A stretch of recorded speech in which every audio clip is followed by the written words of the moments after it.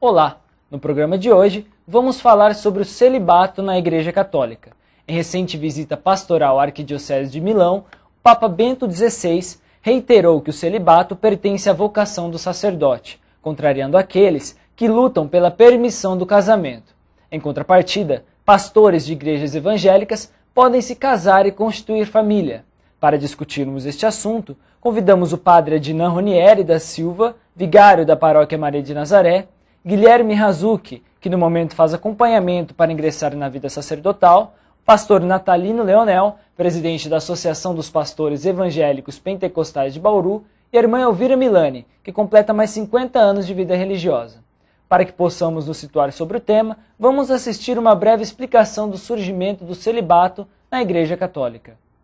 Até a primeira década do século IV, os sacerdotes e bispos mantinham a vida religiosa e matrimonial paralelamente. No entanto, a partir do Concílio de Elvira, na Espanha, em 306, o termo celibato surgiu dentro do catolicismo. Porém, só se tornou absoluto e oficial no Segundo Concílio de Letrão, em 1139. A justificativa era que o matrimônio era herético e distraía o serviço ao Senhor e contrariava o exemplo de Cristo.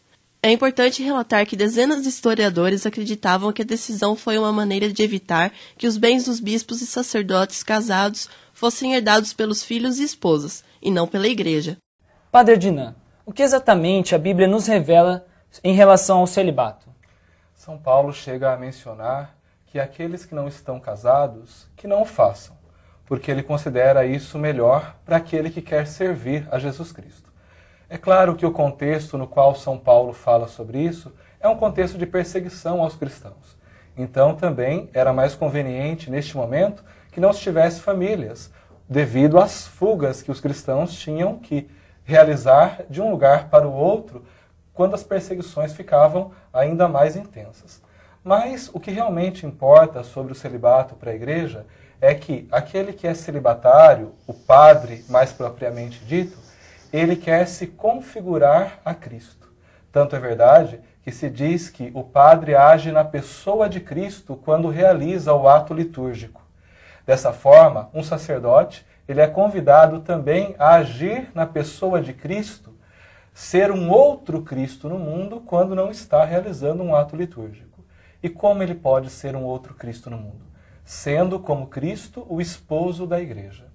Por isso, um padre como eu, ele abre mão do matrimônio, segundo a nossa Igreja Católica Apostólica Romana, para ser um outro Cristo no mundo, esposo da Igreja, que se dedica integralmente à sua esposa, a Igreja. Certo. Senhor pastor Natalino, qual é a interpretação que os evangélicos fazem sobre a questão do celibato? Olha, nós vemos hoje no, no mundo assim evangélico é uma questão realmente de opção. Como o casamento ele é uma opção, o celibato também é uma opção. Né? Como Deus fez o homem, fez o homem e a mulher, fez macho e fêmea. E ele disse, crescei e multiplicai-vos. Né? Então hoje a gente vê assim, que quando há um, um chamado ministerial do casal, a esposa, o marido, os dois à frente assim da igreja, isso tem dado um bom resultado. Certo. É, Guilherme, o voto de castidade é uma questão que pode influenciar de fato a sua decisão em seguir a vida religiosa? Sim, de fato. De fato, é, o celibato ele ajuda muito a se conhecer e, de, e, por melhor assim dizer, a seguir uma, um segmento específico. No meu caso, eu que me preparo para se tornar um sacerdote, que ainda não entrei no seminário, mas é, vivo no ambiente acadêmico, passo por situações diversas como jovens, vejo isso como um desafio, como um autoconhecimento para que eu me torne uma pessoa melhor, no caso, para evangelizar. Ótimo. É, Padre Adnan, o arcebispo de São Paulo, Dom Odilo Scherer, em entrevista recente ao jornal Estadão, declarou que em outras igrejas que não têm celibato também faltam ministros e que o problema não é o celibato, mas uma coisa mais profunda, a experiência de fé e o valor da proposta religiosa. O senhor acredita que a Igreja Católica esteja perdendo ministros em razão do celibato? Penso que não. Muito pelo contrário. As estatísticas mostram o oposto. Tem crescido ultimamente o número de ministros ordenados, de ordenações presbiterais, como a minha, por exemplo. Não é este o caso. De fato, Dom Odílio tem razão. O que falta é uma experiência profunda de Jesus Cristo, porque é esta experiência profunda que leva à perseverança, mesmo depois de receber a ordenação. Isto é o que importa, fazer uma experiência do Senhor. Hoje em dia, o que se confunde é que se tem em conta o experimento. Parece que podemos fazer um experimento de Deus, como se fosse algo de laboratório. E não é isso. Jesus Cristo ressuscitou. É uma pessoa viva, é o nosso Deus. E por isso podemos fazer uma experiência pessoal dele. É, isso faz diferença. é bem vida. uma questão da, da, da, realidade de hoje, né? As pessoas experimentam de tudo, né? E acredito que Deus também seja isso. Hoje as pessoas elas experimentam diversas coisas e tentam ficar com aquilo que elas acham mais convenientes a ela. Mas não se trata de experimentar alguma coisa, e sim de fazer uma experiência interpessoal com alguém, uma amizade com Jesus Cristo, que vive realmente. Esta amizade com Jesus é que dá sentido ao nosso segmento, à nossa caminhada, a viver com fidelidade a nossa vocação. Pastor Natalino, o censo 2010 mostra que houve um aumento significativo de evangélicos.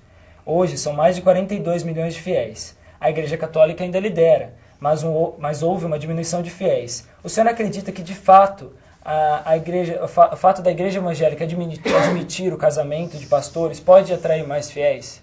É, uma comunhão, né, que nós vemos também no livro de Efésios, no capítulo 5, onde mostra ali o relacionamento conjugal, onde a mulher seja submissa ao marido, assim como a igreja ela é submissa a Cristo. De uma certa forma, nós vemos a igreja como a noiva de Cristo, onde vamos ter um encontro realmente verdadeiro, né? Tanto o marido tenha que ser submisso à igreja, onde Cristo é a cabeça da igreja, como também a mulher seja submissa ao marido e também à igreja, onde Cristo é a cabeça da igreja. Então, nosso verdadeiro casamento é com o Senhor Jesus. O casal tem uma vocação, tem um chamado. Se eles são casados e têm essa vocação, eu creio que é melhor para uma grande obra.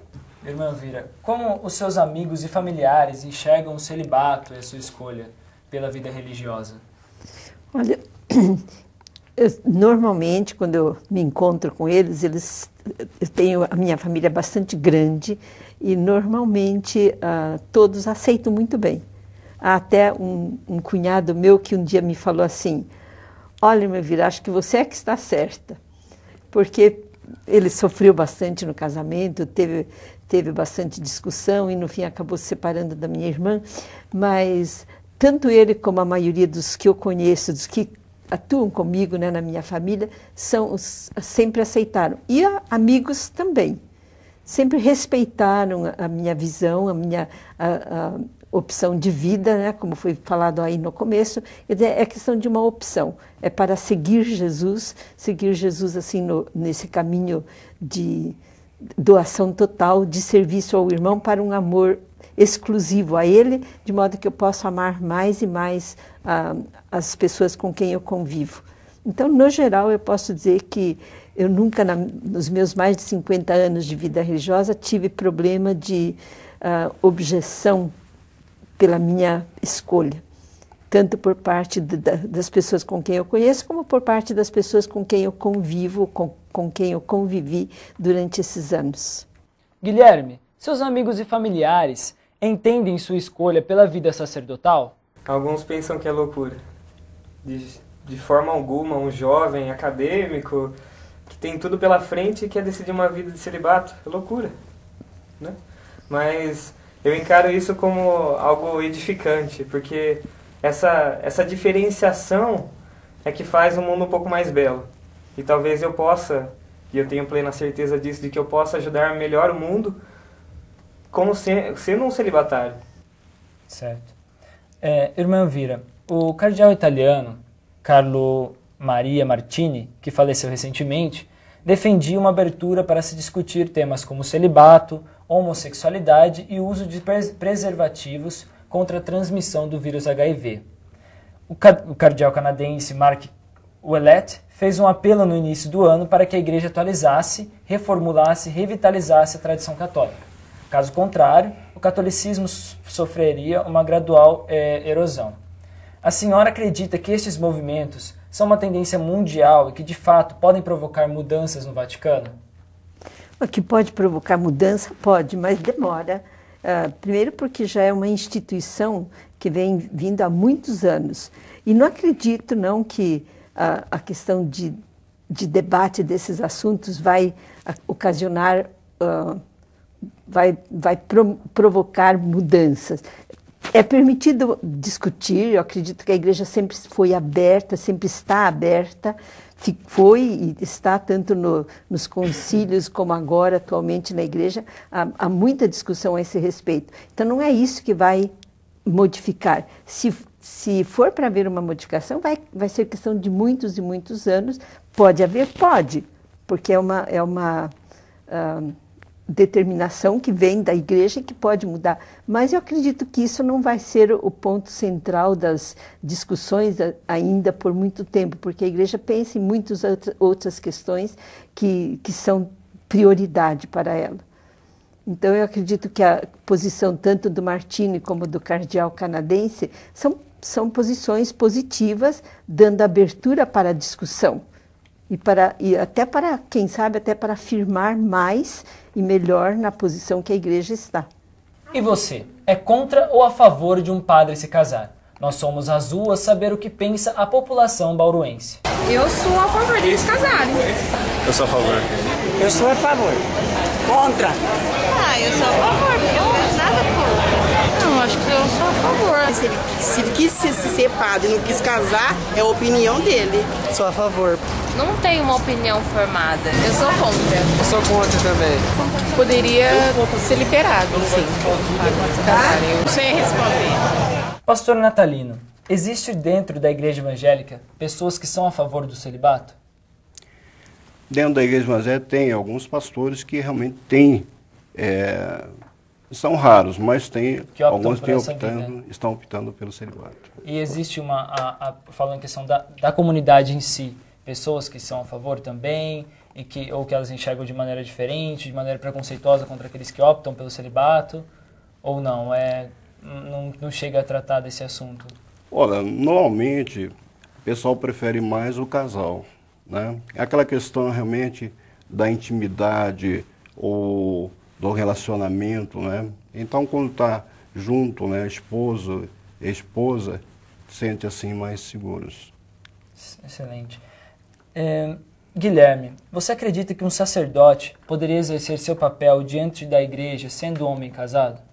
Ah, no contexto que nós vivemos, acredito que não. Acredito que o sacerdote esteja bem colocado no caso da senhora, é, irmã Elvira, exercer a função de vocês como missionárias, como religiosas, também eh, haveria uma diferença caso vocês pudessem? Eu acho que a diferença seria bastante grande, porque hoje, como religiosa, no meu caso, no caso das minhas co-irmãs também, a nossa dedicação é integral para a evangelização, quer na educação, quer na saúde, quer na promoção humana, quer no país, né, no, no, próprio país onde nós estamos, quer em uh, missões estrangeiras. Eu vejo, por exemplo, estive há pouco tempo no Haiti, nós temos quatro irmãs lá.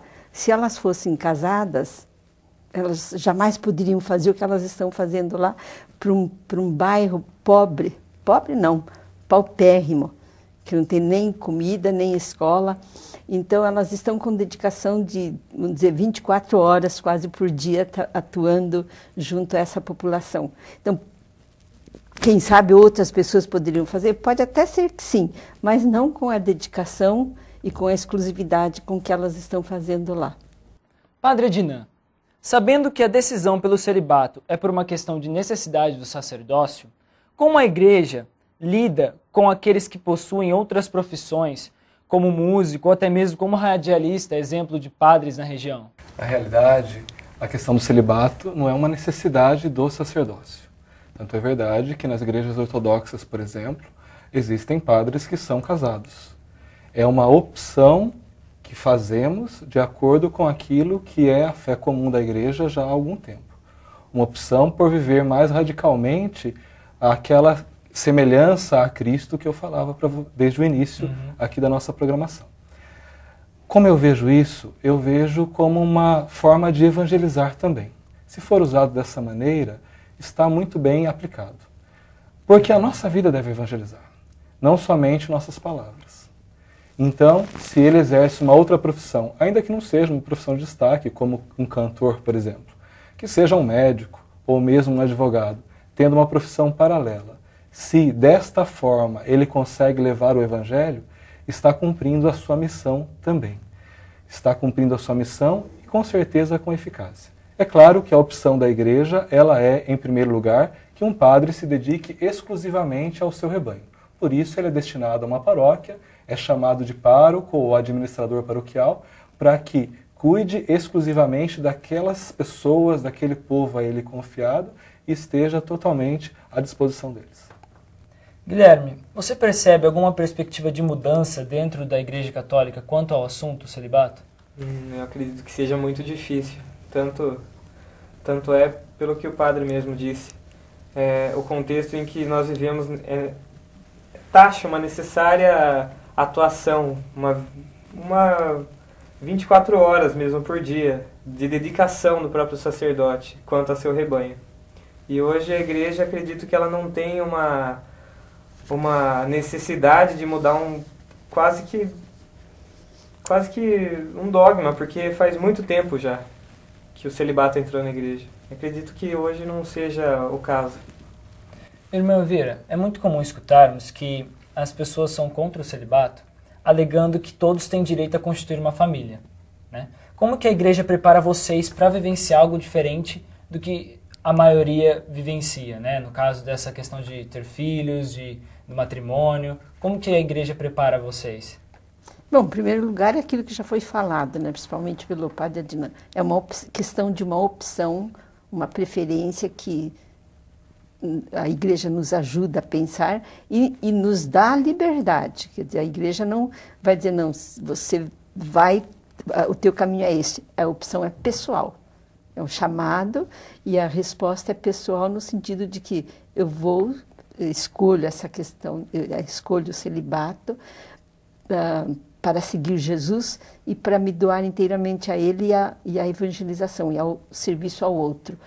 Ah, então, a preparação que a igreja, os, os nossos estudos, a, a caminhada que a gente faz de preparação é sempre no sentido de incentivar a pessoa a, a perceber se é realmente essa a, a vocação para a qual ela foi chamada tanto na vida religiosa como na vida sacerdotal. No nosso caso de religiosas, há uma preparação assim bastante longa, uh, é o caso dos padres também, mas no nosso caso bastante longa, no sentido de nos ajudar a discernirmos se é por ali que, que o chamado para a vida um, o chamado de Cristo para a vida é essa. Tá? Então a preparação vem nesse sentido de, de nos mostrar, olha, é uma vocação em que ah, no caso, o celibato é exigido e que você vai optar se realmente você sentir o chamado. Pastor Natalino, o seu casamento já interferiu alguma vez na sua vida religiosa? Eu fui até muito abençoado, porque ao mesmo instante em que nós tomamos uma posição, eu e minha esposa, então a gente desceu a água do batismo junto, tomamos um, um compromisso. Então, para nós, realmente foi um trabalho do Espírito Santo, um começo realmente firme na fé. Isso me ajudou muito, tanto na parte do ministério, como também na parte da família. Né? Foi, de certa forma, então, uma decisão conjunta? Foi uma decisão conjunta e realmente eu louvo a Deus por isso, né? porque diz para nós, ah, Paulo falando a Timóteo, né? que o bispo ele seja né? irrepreensível, né? marido de uma só esposa e que ele governe bem o seu lar. Guilherme, como é feito esse acompanhamento, no seu caso, né, se preparando para entrar nessa vida sacerdotal, principalmente nessa questão do celibato? Existe alguma diferença na preparação já dentro do seminário, uma conversa em questão, ou é a mesma coisa?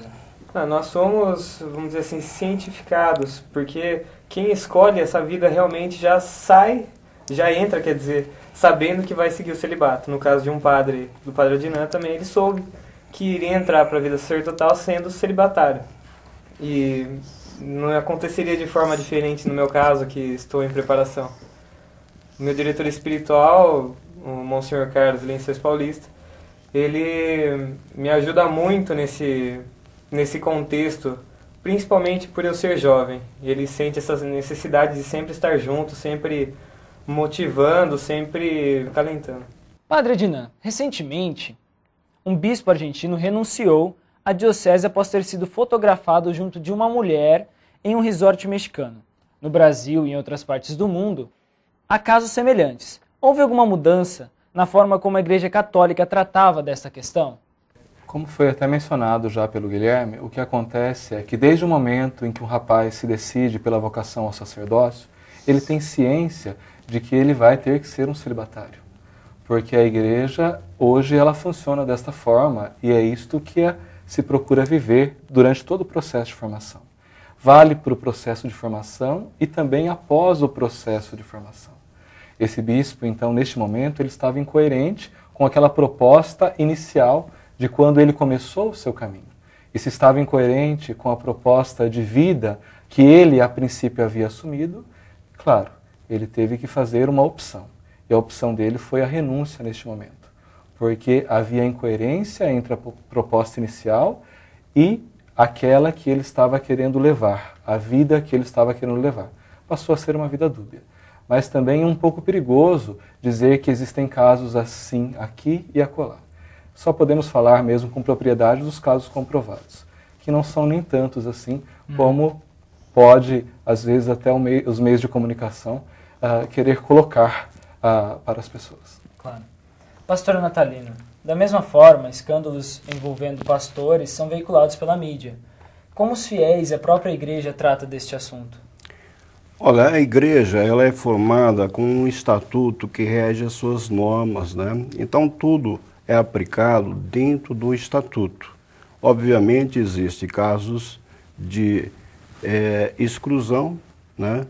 E também casos de defesa, a possibilidade de ampla defesa tal, né? Mas na comprovação normalmente leva-se a comunidade leva a uma exclusão no caso do adultério, da prostituição, da pedofilia.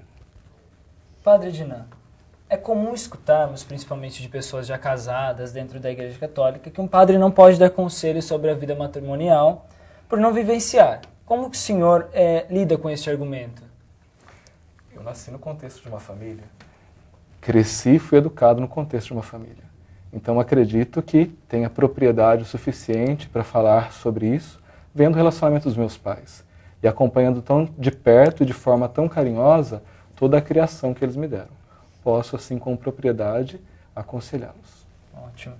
Pastor Natalino, como que o senhor consegue separar essas duas vocações, do matrimônio e da vida religiosa? Olha, na verdade, é, elas se fundem, né? porque é, ao mesmo tempo em que nós temos que manter a, a família cuidar também da igreja, então torna-se tudo uma família. Né? Nós não olhamos assim a, os membros da igreja de uma forma separada. De certa forma, a gente vive como uma família. Então, é, pessoal às vezes sai da igreja, vai para minha casa, a gente passa um domingo junto, é, fazemos um aniversário e tal. Então, a gente procura viver realmente essa comunidade e realmente a família se integra de uma forma, né, não individualmente, mas até assim dizer, de um certo coletivo. Né? Mas é importante, porque é, temos que dar atenção, educar os filhos, corrigir e também né, levá-los a uma espiritualidade a crescer na sua fé. Irmã Elvira, a senhora teria alguma consideração final a fazer a respeito da sua vivência do celibato? Bom, posso dizer que eu vivi esses meus anos na vida religiosa uh, plenamente. Me sinto feliz. Uh, a minha dedicação foi total desde, desde os meus 18 anos, quando eu entrei para, para a parte inicial da formação, e, e posso dizer que vale a pena. Uh, há renúncias, mas a, a, renúncia que a gente faz é justamente com um objetivo bem mais alto, é com, com essa é, intenção né, de, de um segmento total ao esposo Jesus que me chamou, que me conduziu e que me leva para a frente. Senhor Padre Dinan também? Sou feliz com as pessoas com que convivo. Vejo o modo como Deus tem dilatado o amor no meu coração para com as pessoas e este número de pessoas tem aumentado cada vez mais. Deus tem dado um coração semelhante ao dele, de amor aos meus irmãos. E também gosto muito que as pessoas cuidem de mim, porque vejo a vocação dessa forma. Aquele que é consagrado a Deus, ele tem o dever, a obrigação de dar testemunho de sua fé. E o povo tem o direito de exigir esse testemunho. Pastor Natalino, o senhor teria alguma consideração final a fazer a respeito da sua vivência, da sua opinião sobre o tema? Eu quero agradecer a esse programa pela excelente escolha né, de tratarmos sobre o celibato, o casamento, um tema tão atual. E realmente estão de parabéns, desejo a vocês aí muito sucesso, né? E agradeço aí estar conhecendo esses novos amigos aqui em Cristo. Muito obrigado. Guilherme? Ah, eu só tenho a agradecer porque a irmã, o padre Adinã, o pastor, eu me encaixo e me vejo como é, enobrecido, porque são exemplos de vida religiosa, são exemplos a se seguir. Principalmente no meu caso do padre Adinã, que já tem uma caminhada vocacional, já tem uma vivência espiritual como padre um pouco maior, então eu vejo ele como um espelho. O programa de hoje discutiu o celibato. Gostaria de agradecer a presença do padre Adnan Ronieri da Silva, vigário da paróquia Maria de Nazaré, do pastor Natalino Leonel, presidente da Associação dos Pastores Evangélicos Pentecostais de Bauru, do Guilherme Razucchi, que faz acompanhamento para ingressar na vida sacerdotal, e da irmã Elvira Milani, com mais de 50 anos de vida religiosa. Até o próximo programa e obrigado pela audiência.